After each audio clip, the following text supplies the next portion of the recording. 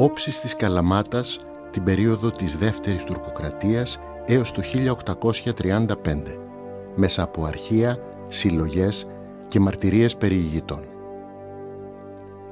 Η Καλαμάτα την περίοδο της τουρκοκρατίας ήταν μια μικρή και ασήμαντη πολιτεία. Έμοιαζε περισσότερο με Τουρκόπολη, με τα χαμόσπιτα, τα στενοσόκακα, τις λεγόμενες Αγίες, την απουσία δημόσιων ανοιχτών χώρων και την έλλειψη αποχετευτικού δικτύου. Η οικονομική της σημασία ήταν περιορισμένη σε σχέση με άλλες πόλεις του νομού, την Κορώνη παραδείγματος χάρη ή την Μεθόνη. Ωστόσο ήταν η πρωτεύουσα μιας από τις 24 επαρχίες, καζάδες ονομάζονταν τότε, στις οποίες ήταν διαιρεμένη η Πελοπόννησος. Εδώ είχε την έδρα του ο Βοεβόδας, δηλαδή ο διοικητής της επαρχίας, ο οποίος μαζί με τον Καδί και λίγους στρατιώτες τοποθετημένους για την τήρηση της τάξης αποτελούσαν τους μόνους σχεδόν Τούρκους της περιοχής. Ο υπόλοιπος πληθυσμός της ήταν χριστιανικός. Άλλωστε η Τριπολιτσά ήταν τότε η έδρα της Οθωμανικής διοίκησης στην Πελοπόννησο. Ο περιηγητής William Martin Leake που επισκέφθηκε την Καλαμάτα το 1805 περιγράφει ως εξής τη διοίκηση της πόλης από τους Τούρκους. Η διοίκηση βρίσκεται στα χέρια των προκρήτων Ελλήνων και ο βοεβόδας μετατίθεται με ευκολία σε οποιαδήποτε παράπονά τους. Ο Μουκατάς του Καζά, δηλαδή η ενοικίαση των φορολογικών εσόδων της περιοχής, παραχωρείται σε κάποιον ευνοούμενο στην Κωνσταντινούπολη για διάστημα 12 ή 18 μηνών αυτός τον πουλεί σε κατώτερη τιμή σε κάποιον άλλο Τούρκο για τέσσερις ή έξι μήνες. Ο εγκαταστημένος βοεβόδας είναι ένας απλός εισπράκτορας των εσόδων. Ο Καντής, δηλαδή ο Τούρκος ιεροδικαστής, είναι κατά τον ίδιο τρόπο ο αντιπρόσωπος ενός προϊσταμένου στην Κωνσταντινούπολη, ο οποίος έχει αγοράσει το καντιλίκι, δηλαδή το αξίωμα του Καντή ένας Αλβανός μπουλούκμπασης και 40 άντρες συντηρούνται από την πόλη για να φυλάνε τον τόπο ελεύθερο από τους κλέφτες. Τελευταίος βοεβόδας του Καζά Καλαμάτας ήταν ο Σουλεϊμάν Αρναούτογλου, ο οποίος είχε το διοικητήριό του στον εμβληματικό πύργο του Νικόλαου Κορφιωτάκη, δίπλα στο σημερινό Μητροπολιτικό Μέγαρο. Η διοίκηση της πόλης ουσιαστικά βρισκόταν στα χέρια των Ελλήνων τοπικών παραγόντων, στους δημογέροντες, οι οποίοι με τη σειρά τους εξέλεγαν τους προεστούς της επαρχίας. Δημογέροντες και προεστοί εξέλεγαν τον Βεκίλη, ο οποίος ήταν ο εκπρόσωπος της επαρχίας στην Κωνσταντινούπολη. Αξίωμα εξαιρετικά υψηλό που ανήκε σε ελάχιστες μόνον οικογένειες. Στην περιοχή μας, Βεκίλης διατέλεσε ο Παναγιώτης Μπενάκης, άτομο με μεγάλο κύρος και έξω από τα όρια της Καλαμάτας σε ολόκληρη την Πελοπόννησο. Στην Καλαμάτα δημογέροντες διετέλεσαν ο Ιωάννης Κυριακός, Πανάγος Λογοθέτης, Νικόλαος Κορφιωτάκης, Παναγιώτης Μπενάκης, Θεόδωρος Ρεμπού, Διονύσιο Τζάνες, Αθανάσιο Τζάνες. Οι αρμοδιότητές τους ήταν να διαχειρίζονται τη δημοτική περιουσία, να εκπροσωπούν την κοινότητα στο δικαστήριο, να επικυρώνουν τα συμβόλαια των δημοτών, να ασκούν διαιτησία σε αστικά ζητήματα. Όλοι τους ανήκαν σε μεγάλες προχοντικές οικογένειες, με καταγωγή κάποιων απευθείας από το Βυζάντιο, όπως οι οικογένειες Κυριακού και Κορφιωτάκη, με αξιοσημείωτη προσφορά στην οικονομική, πολιτική και κοινωνική ζωή της πόλης προεπαναστατικά συνέβαλαν στην προετοιμασία του αγώνα για την ελευθερία. Κατά τις πρώτες μετά την απελευθέρωση δεκαετίες συνετέλεσαν στην ανασυγκρότηση της πόλης μετά από τη μακροχρόνια Οθωμανική δουλεία. Η προεπαναστατική Καλαμάτα περιοριζόταν γύρω από το αχαμνό μεσαιωνικό κάστρο της που χρονολογείται από το 1206 και το οποίο βρισκόταν μισή ώρα από τη θάλασσα χωρίς καμία οδική σύνδεση με αυτή ο Γάλλος φυσιοδίφης Σέμβενσα, ως επικεφαλής του τμήματος φυσικών επιστημών της Γαλλικής Αποστολής του Μουριά, επισκέφθηκε το κάστρο το 1829. Το περιγράφει λοιπόν ως εξής. Το φρούριο που βρίσκεται σε ένα απότομο ύψωμα από τη δυτική πλευρά φέρει όλα τα χαρακτηριστικά της εποχής των Σταυροφόρων και της Βενετικής κυριαρχίας αναγνωρίζει κανείς ότι ο οχυρωματικός περίβολος ήταν αρκετά σημαντικός και σχηματιζόταν από μεγάλα προφυλασσόμενα τείχη όπου κατά διαστήματα υπήρχαν κατάλληλοι τετράγωνοι πύργοι από τους οποίους εκείνος της πύλεως υφίσταται ακόμα στην ολότητά του. Ο πύργος στο εσωτερικό μέρος κυριαρχούσε σε όλα τα οχυρώματα και είχε θέα προς την κήτη του Νέδοντος. Ο δαφνοστόλιστος Νέδοντας, εξού και δαφνώνας, ήταν η μόνη δυνατότητα σύνδεσης της επάνω πόλης με την παραλία κατά τους καλοκαιρινούς μήνες μέσω της στεγνής κήτης του. Σύμφωνα με τη ματιά περιηγητή του 1825, εξερχόμενος από τις χαράδρες του Ταϊγέτου, διέσχιζε την πόλη. Αν και οι όχθες του είναι καλυμμένες με χοντρή άμμο και με πέτρες, βλέπει κανείς ωστόσο να ανθίζουν πικροδάφνες και η λιγαριά, ενώ σε κάποια απόσταση μεγαλώνουν φτελιές, λεύκες και κυπαρίσια με εξαίρεση την πυκνοκατοικημένη περιοχή γύρω από το κάστρο, η υπόλοιπη κατηφορική έκταση προς την ακτή ήταν ένας απέραντος κάμπος, γεμάτος λίμενες και τέλματα που σχηματίζονταν από τα όμβρια ύδατα και τις διακλαδώσεις του Νέδοντα. Γι' αυτό και η πόλη κτίστηκε ψηλά γύρω από το κάστρο. Ασφαλώς δεν είναι τυχαίο το ότι η Καλαμάτα ήδη από την περίοδο της ενετοκρατίας και αργότερα της τουρκοκρατίας ήταν χαρακτηρισμένη περισσότερο ως μεσόγεια οχυρή θέση παρά ως παραθαλάσσια πόλη σε αντίθεση με την Πάτρα, τον Ναύπλιο, τη Μεθόνη, την Κορώνη, τον Ναβαρίνο ή την Κόρινθο. Η παραλία της Καλαμάτας δεν ήταν παρά μία απέραντη ερημική ακτή. Εκεί υπήρχε γύρω στα 1700 δάσος από λεύκες έκτασης 3.000 στρεμάτων περίπου. Μάλιστα η μαλακή αυτή ξυλία ήταν πολύ χρήσιμη για τις γαλέρες των Βενετών. Έναν και πλέον αιώνα αργότερα, το 1828, η ακρογιαλιά εξακολουθούσε να είναι ακατοίκητη. Δεν υπήρχαν παρά μόνο μερικές καλύβες φτιαγμένες με χορτάρι και κλαδιά. Σύμφωνα με τον περιηγητή Ζακ Μαζάρ, η όποια κίνηση κατά τα προεπαναστατικά χρόνια εντοπιζόταν στην δυτική παραλία, στην περιοχή της ανάληψης. Εκεί βρίσκονταν πρόχειρες εγκαταστάσεις που εξυπηρετούσαν το εμπόριο. Το λιμάνι δεν υπήρχε ακόμη, καθώς η κατασκευή του ολοκληρώθηκε το 1901.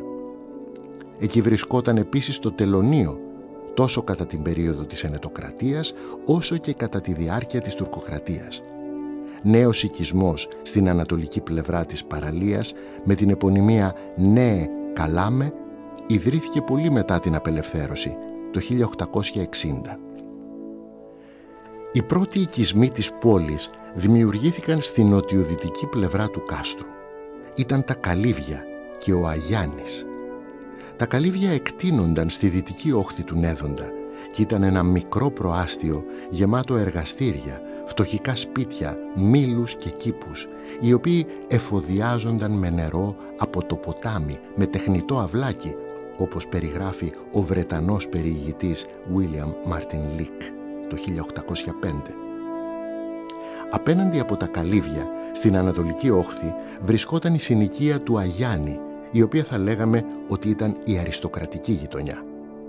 Εδώ κατοικούσαν οι προχοντικές οικογένειες του Πανάγου Κυριακού, του Δανασί, των Εφεσίων, του Ιωάννη Παπαδόπουλου, πατέρα του ιερομόναχου Γεράσιμου Παπαδόπουλου και άλλων. Ανατολικότερα στα ριζά του κάστρου, στο χώρο της σημερινής πλατείας η Παπαντής, που τότε δεν υπήρχε, υψώνονταν αρκετά διόροφα σπίτια προχοντικών τοπλίστων οικογενειών, γνωστά ως πύργοι. Τέτοια ήταν τα σπίτια των Ζάρκου, Καραλιά, Ρεμπού, Σκορδούλη, Δορβατζή, Αντωνόπουλου, Μελισσουργού, Παγώνη, Τζάνε. Ο πύργος ενός Τζάνε, σύμφωνα με την περιγραφή του Άγγλου περιηγητή William Gell το 1805, είχε τρεις ή τέσσερις ορόφους και μία μεγάλη αυλή περιτυχισμένη με τείχο ύψους επτά ποδών, δηλαδή δύο περίπου μέτρων. Στη δυτική γωνία της Μονής Καλογρεών υψωνόταν ο πύργος του Βαρσαμά, ενώ στην πλατεία Φραγκόλυμνα υπήρχε το αρχοντικό των ψάλτιδων. Τα μικρά αυτά οχυρά απέβλεπαν στο να προστατεύονται οι ένοικοί τους από τις ληστρικές επιδρομές κάποιων ορεσίβιων και κυρίως των μανιατών. Ο κάτω όροφος του δίπα του σπιτιού προοριζόταν συνήθως για μαγαζί ή αποθήκη και είχε θύρες στέρεες που φράσονταν με βαριές σιδερένιες αμπάρες. Ο πάνω όροφος χρησιμοποιούνταν ως κατοικία της οικογένειας.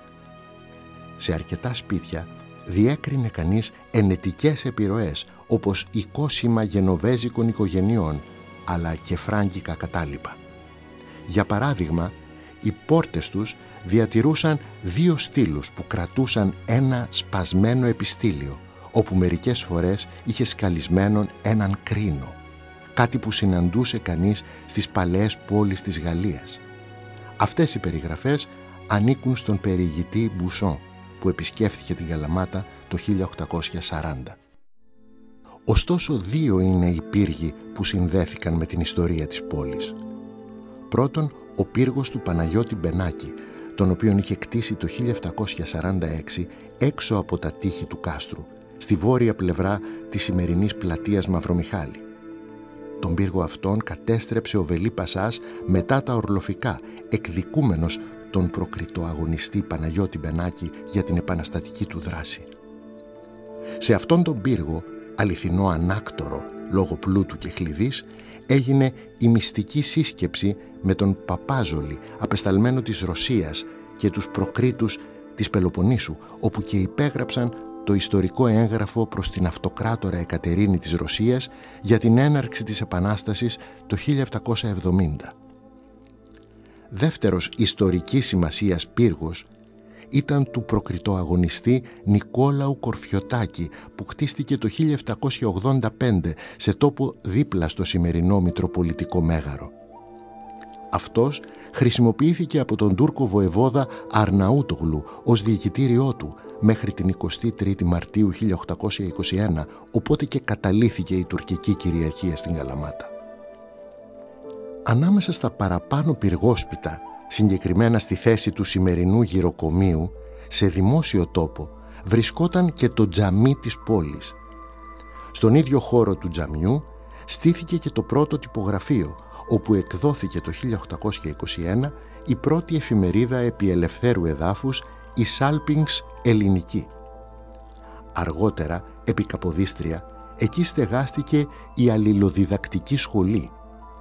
Δυτικά του τζαμιού δημιουργήθηκε από τις πρώτες κιόλας μέρες νοσοκομείο για τους τραυματίες του αγώνα, όπως μαρτυρεί το διοριστήριο έγγραφο του προκριτοαγωνιστή και εμπειρικού γιατρού Πανάγου Δουκάκη με ημερομηνία 31 Μαρτίου 1821 και με υπογράφοντα τον Πετρόμπεϊ Μαυρομιχάλη.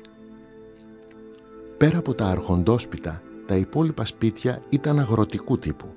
Βρίσκονταν κτισμένα στις κλητής του κάστρου χωρίς τάξη και σχέδιο, ανάμεσα σε κήπους με πορτοκαλιές και λεμονιές που τους χώριζαν φράκτες και φραγκοσικές, καθώς και ανάμεσα σε αγρούς με σικές, μουριές, ελιές, αμπέλια και άλλα. Ανάμεσά τους ήταν κτισμένοι μικροί σε μέγεθος ναοί στους οποίους μπορούσε να διακρίνει κανείς φράγκικες και ενετικές επιρροές, για παράδειγμα πυργοειδή κοδονοστάσια. Προεπαναστατικά, οι ενορίες ήταν δύο. Η ενορία του Αγίου Ιωάννη του Προδρόμου και η ενορία του Αγίου Αθανασίου. Στην πρώτη, παροχθείως του Νέδοντα, συγκεκριμένα στο ναΐσκο του Αγίου Ιωάννη και όχι στο ναό των Αγίων Αποστόλων, έγινε η πανηγυρική δοξολογία για την απελευθέρωση της Καλαμάτας από τον τουρκικό ζυγό στις 23 Μαρτίου 1821. Αυτό απέδειξε ο καλαματιανός ιστοριοδίφης Νίκος Ζερβής, στηριζόμενος σε σοβαρά τεκμήρια. Ο ναός της δεύτερης ενορίας του Αγίου Αθανασίου, Τζάνε, βρισκόταν στη συμβολή των σημερινών οδών Παπαντής και Μητροπολίτη Μελετίου.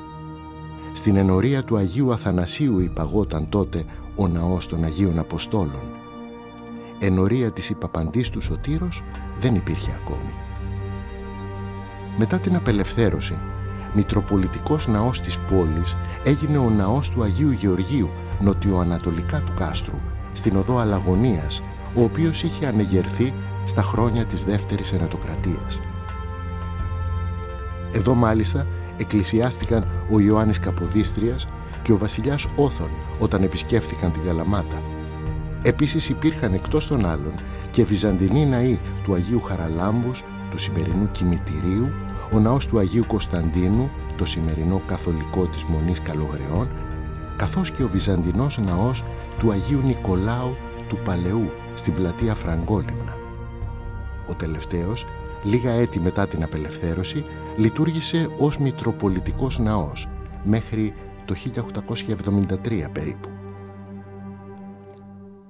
Η σημερινή μεγαλοπρεπής ναή του Αγίου Ιωάννη Προδρόμου στις όχθες του Νέδοντα, της Υπαπαντής του Σωτήρος και του Αγίου Νικολάου Φλαρίου κτίστηκαν στη θέση των παλαιών τη δεκαετία του 1860. Ωστόσο, μία πόλη δεν είναι μόνο κτίρια και ναή. Είναι κυρίως οι άνθρωποι της.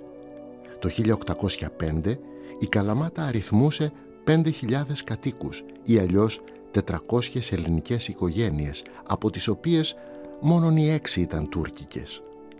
Γενικά, η πορεία του πληθυσμού της πόλης, αλλά και της Μεσσηνίας ευρύτερα, επηρεάστηκε αρνητικά από την αποτυχημένη επανάσταση του 1770 και από τις θανατηφόρες επιδημίες της Πανόλης και από τις μεταναστεύσεις.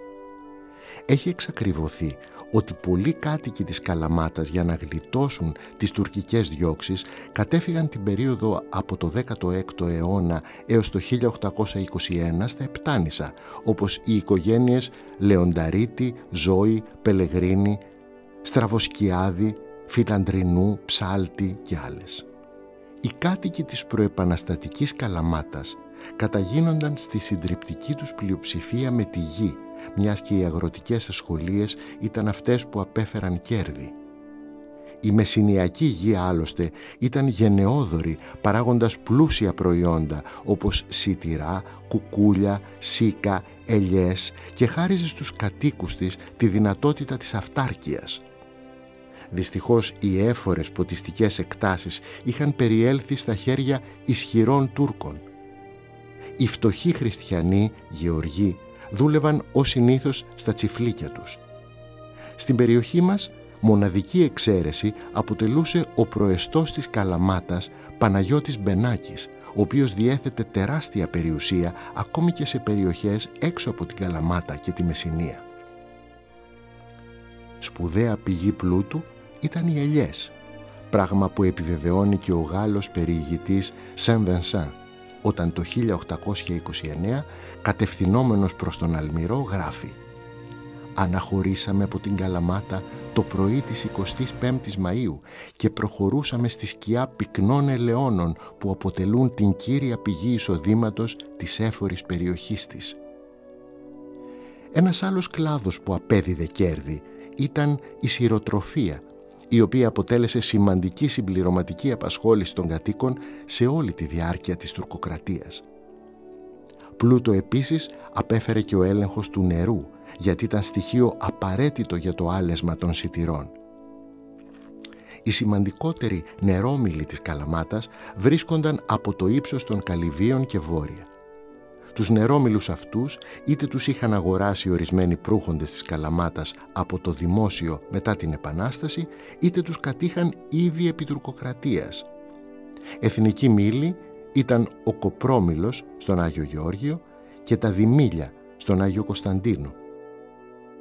Βορειότερα από τους παραπάνω μήλους, πάλι στη Δυτική Όχθη, βρισκόταν ένα άλλο σύμπλεγμα μήλων, γνωστό ως μήλι Τζάνε, οι οποίοι είχαν περιέλθει στην ιδιοκτησία των οικογενειών Τζάνε και Αργυρόπουλων ή Αντωνακάκηδων, ήδη επί τουρκοκρατίας. Η βιοτεχνία ήταν σχεδόν ανύπαρκτη και αυτή στα πλαίσια της οικιακής απασχόλησης. Μόνο μερικοί βυρσοδέψες ιχνηλατούνται την περίοδο της τουρκοκρατίας. Το δε εμπόριο, με γνωστή την αδιαφορία των Τούρκων στον εμπορικό τομέα, βρισκόταν στα χέρια ξένων, κυρίως Γάλλων, αργότερα και Άγγλων. Επομένως δεν μπορούσε να θεωρηθεί πλουτοπαραγωγός πηγή για τους ντόπιους. Ωστόσο η πόλη διέθετε το γεωγραφικό πλεονέκτημα αφού μπορούσε να εξυπηρετήσει εμπορικές συναλλαγές με τη Δυτική Μεσόγειο ενώ παράλληλα ήταν σταθμός στη ρότα ιστιοφόρων πλοίων από λιμάνια του Αιγαίου Πελάγους προς τα Ιταλικά και τα Γαλλικά εμπορικά λιμάνια. Αυτό έδωσε τη δυνατότητα σε κάποιες καλαματιανές οικογένειες με κτηματική και πολιτική δύναμη να δραστηριοποιηθούν στη διακίνηση των ντόπιων εξαγωγικών προϊόντων. Αντιπροσωπευτικός τύπος παραδοσιακού εμπόρου της περιοχής κατά την προεπαναστατική περίοδο αποτελεί ο Παναγιώτης Μπενάκης, ο οποίος το 1761 ίδρυσε μαζί με άλλους εμπορική εταιρεία με σκοπό την προώθηση του τοπικού μεταξιού στην αγορά της Τινησίας. Επίσης η οικογένεια Εφεσίου, κυρίως η Νικόλαος και η Ηλίας Εφέση, είχαν αναπτύξει το εμπορικό δίκτυο Καλαμάτα, Μάλτα, Τίνιδα πριν το 1821, εξάγοντας λάδι, πριν ο κόκκι, με τάξη και εισάγοντας φέσκια και χταπόδια ξερά, δίκτυο που συνεχίστηκε τουλάχιστον μέχρι το 1861. Και στις δύο περιπτώσεις παρατηρούμε ότι το μετάξι ήταν το κατεξοχήν εξαγώγημο προϊόν. Ο περιηγητής Λίκ 1805 αναφέρει ότι 7.000 περίπου οκάδες ακατέργαστου μεταξιού παράγονταν αποκλειστικά στον Καζά Καλαμάτας. Από αυτές οι 1500 οκάδες χρησιμοποιούνταν από την τοπική υφαντουργία για την ύφανση των περίφημων καλαματιανών μανδυλίων. Μεγάλη φήμη απέκτησαν τα μεταξωτά μανδύλια της Μονής Καλογρεών. Οι υπόλοιπες ποσότητες διοχετεύονταν στην Τινησία και στο Τωρίνο, τη Χίο, τη Σμύρνη και την Κωνσταντινούπολη. Με βάση τα παραπάνω, δεν βρίσκουμε άστοχα ούτε υπερβολικά τα γραφόμενα του Βενετού καταστοιχιώτη Μίσχελ για την εικόνα της Καλαμάτας σε μια πολύ πρώιμη εποχή και συγκεκριμένα το 1691. Εκεί μαθαίνουμε ότι οι κάτοικοι της περιοχής, εννοεί του Μεσσηνιακού κάμπου, είναι γεωργοί χωρίς καμία μόρφωση εκτός από τους κατοίκους της Καλαμάτας που είναι άνθρωποι μάλλον εξευγενισμένοι, δίνονται με μακριά κομψά φορέματα και ασχολούνται με το εμπόριο. Μια εικόνα εν πολλής εξοραϊσμένη που ωστόσο μαρτυρεί την υπεροχή των κατοίκων της Καλαμάτας σε σύγκριση με τους κατοίκους του υπόλοιπου αγροτικού καζά στους οποίους δεν υπήρχε ίχνος αστικής συμπεριφοράς. Ο καθημερινός βίος των κατοίκων της περιοχής δεν διέφερε ασφαλώς από τις υπόλοιπες υπόδουλης Πελοποννήσου. Άνθρωποι φτωχοί, ακτήμονες στη συντριπτική τους πλειοψηφία, αγράμματοι, απέδευτοι. Οι όποιες εκπαιδευτικές τους ανάγκες καλύπτονταν από κάποιες διάσπαρτες και ασυντόνιστες πρωτοβουλίες μεμονωμένων προσώπων και από αυτενέργειες κυρίως κληρικών. Κάποιοι από αυτούς ίδρυσαν σχολεία όπως ο Γεράσιμος Παπαδόπουλος γύρω στα 1790, ο Αγάπιος το 1815 και ο Ιερόθεος το 1819. Οι κινήσεις όμως αυτές ήταν τοπικής σημασίας και χωρίς κάποια εμβέλεια στην ευρύτερη περιοχή. Προφανώς δεν διέθεταν την ακτινοβολία την οποία εξέπεμπε για παράδειγμα το σχολείο της Αρκαδικής Δημητσάνας σε ολόκληρη τη Μελοπόννησο. Για τις θεσμικές ανάγκες τους, οι κάτοικοι κατέφευγαν συνήθως στους τοπικούς άρχοντες, δημογέροντες, προκρίτους. Σε αρχεία και συλλογές της υπηρεσίας μας εντοπίσαμε ποικίλες ενέργειες καλαματιανών προκειμένου να επιλύσουν τις καθημερινές τους διαφορές ή νομικής φύσεως υποθέσεις. Για παράδειγμα, σε ένα «χοτζέτι» του 1806 διαβάζουμε για την αγωγή που κατέθεσε ο Αθανασούλης Τζάνες εναντίον του Πούλου Καραλιά. Ο Καραλιάς είχε εκτρέψει την κήτη του ποταμού και είχε κτίσει ένα αυθαίρετο οικοδόμημα, διακόπτοντας έτσι την παροχή ύδατος στον Αλευρόμιλο που βρισκόταν στον ίδιο Καζά.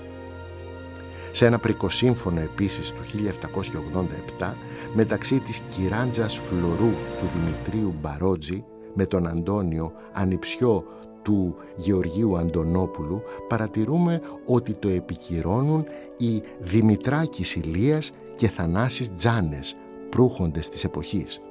ή πάλι σε μια αγοραπολισία του 1817 στην περιοχή του Παμίσου παρατηρούμε ότι το έγγραφο συντάχθηκε από τον ίδιο τον πολιτή αλλά το επιβεβαιεί ελήψη συμβολιογράφου ο επίσκοπος Ιωσήφ Ανδρούσης.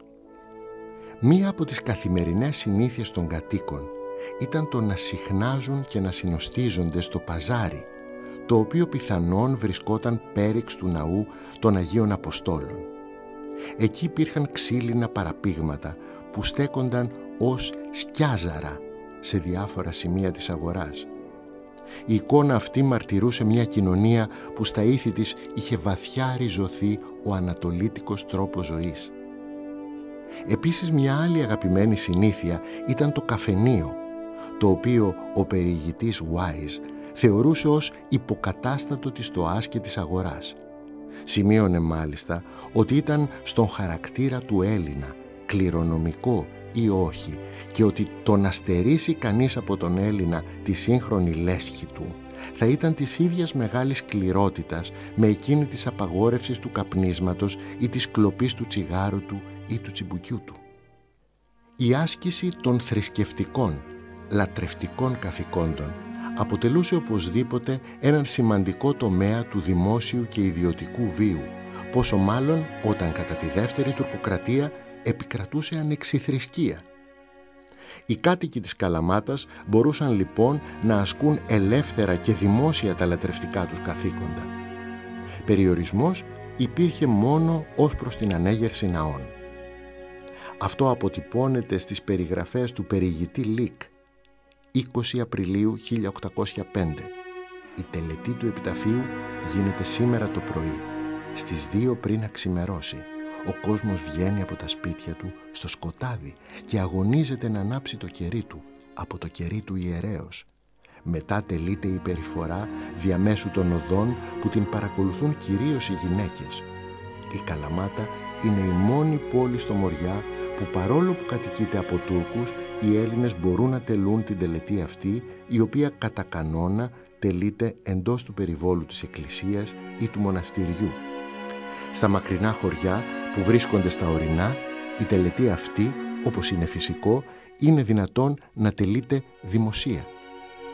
Και αλλού, 20 Απριλίου 1805, Κυριακή του Πάσχα, το οποίο οι Έλληνες ονομάζουν λαμπρή, είναι γενικό το έθιμο όταν συναντιούνται δύο γνωστοί για πρώτη φορά να λέει ο ένας «Χριστός Ανέστη» και να απαντά ο άλλος «Αληθώς Ανέστη». Οι πρωινές ώρες αφιερώνονται σε επισκέψεις και στο πιώσιμο του καφέ. Στις 11 είναι η ώρα του γεύματος, στη διάρκεια του οποίου δεν είναι ασυνήθιστο να ψάλλονται οι λέξεις του χαιρετισμού που αναφέρθηκαν πιο πάνω ή κάτι που να ταιριάζει με την ημέρα. Κάπως έτσι φαινομενικά ήσυχα και σιωπηλά κυλούσε η ζωή για αιώνες. Δεν έπαβε όμως να τη σκιάζει η δουλεία και ο φόβος. Μέχρι τη μεγάλη εκείνη στιγμή όταν ο πόθος για ελευθερία και ανεξαρτησία υπερίσχυσε.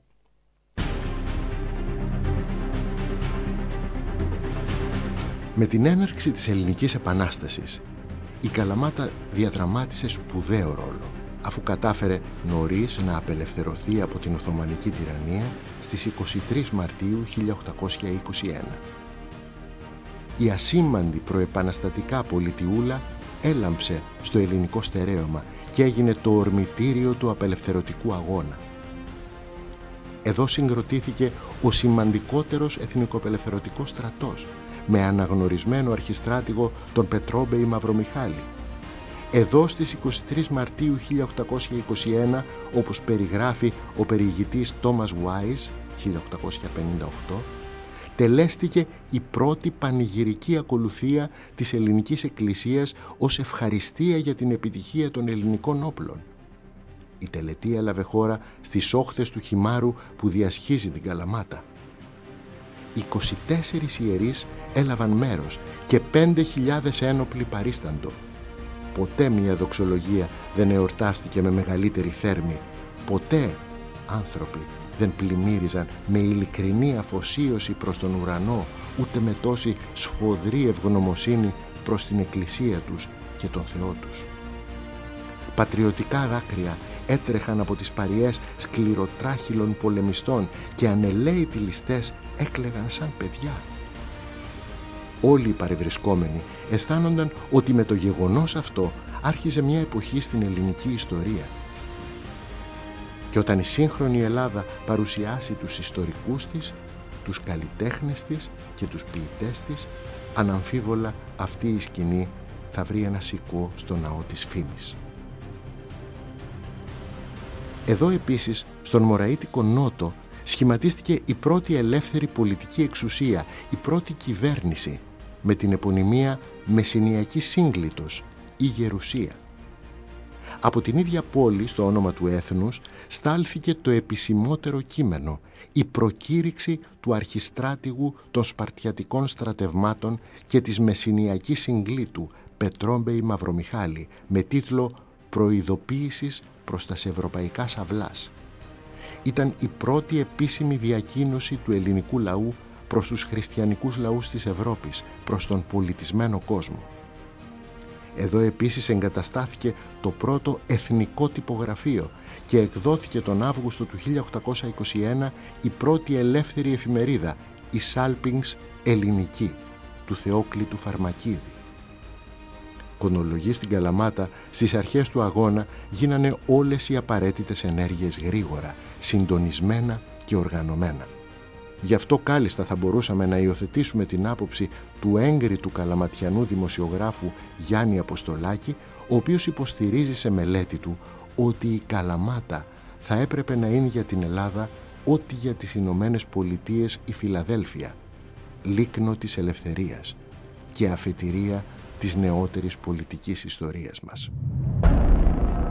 Η συνέχεια του αγώνα για την ανεξαρτησία δυστυχώς επιφύλασε νέες τραγικές περιπέτειες.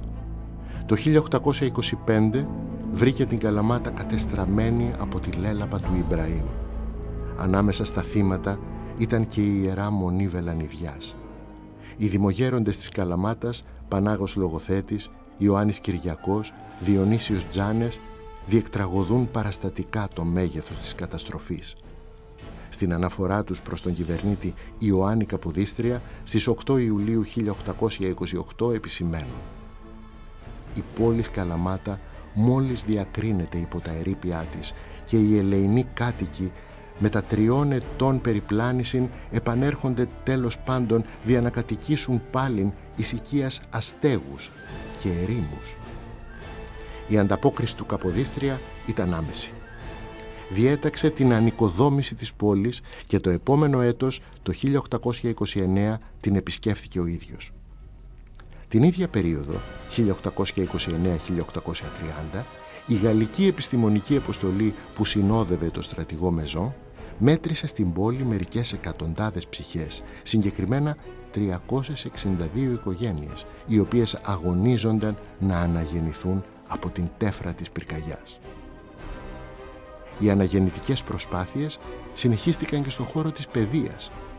Ο τότε διοικητής της Καλαμάτας, Κωνσταντίνος Πεταλάς, μαζί με τους προκρίτους της πόλης, κατέβαλαν σημαντικές προσπάθειες ώστε να οικοδομηθούν και ιδρυθούν δύο σχολεία. Ένα κατώτερο, αλληλοδιδακτικό σχολείο, το οποίο τελικά στεγάστηκε στον εθνικό τόπο του τουρκικού τζαμιού, δάσκαλοι η Κωνσταντίνος Γκίκας και Πέτρος Μπούας, το μαθητικό δυναμικό του ανερχόταν στους 85 μαθητές, σύμφωνα με διασωθέντα κατάλογο μαθητών του πρώτου έτους λειτουργίας του το Δεκέμβριο του 1829.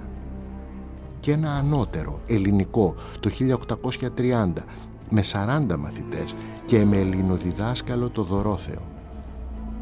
Την ευθύνη του σχολείου αυτού την είχε επιτροπή που απαρτιζόταν από τους προκρίτους Παναγιώτη Μπενάκη, Γιαννάκη Μπενή, Ιωάννη Τζάνε, Πανάγου Πικουλάκη και Νικόλαο Νικολόπουλο. Και τα δύο σχολεία συντηρούνταν κυρίως από τις εισφορές των κατοίκων της πόλης ή σε περίπτωση σοβαρού κολλήματος και από την κυβέρνηση. Το μεγάλο βήμα ωστόσο για την ανάδειξη της πόλης έγινε το 1835. Τότε η Καλαμάτα έγινε πρωτεύουσα του νομού Μεσσηνίας. Η διοικητική της αναβάθμιση την ευεργέτησε πολλαπλά. Αφενός συγκέντρωσε όλες τις αρχές του νομού, δικαστήριο, ταμείο, εφορία, φρουραρχείο και άλλες. Αφετέρου, προστατεύθηκε από τις επιδρομές των μανιατών. Σιγά σιγά προσέλκυσε νέους κατοίκους από την Αρκαδία, τη Λακωνία, τη Μάνη, τη Ζάκυνθο, τα Κύθυρα, αλλά και ξένους κατοίκους, κυρίως Γάλλους εμπόρους.